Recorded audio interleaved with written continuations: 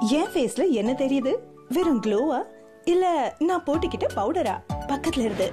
Powder தெரிஞ்சதா? No ஆனா bright look S எப்படி? புதிய Pond's skin tone matching face powder brightening particles கொண்டது. கிடைக்கும் நேச்சுரல் பிரைட் க்ளோ இனி பிரைட் லுக் கிடைக்கும். அப்புறம் பவுடர் தெரியவே தெரியாது. புதிய பாண்ட்ஸ் ஃபேஸ் பவுடர்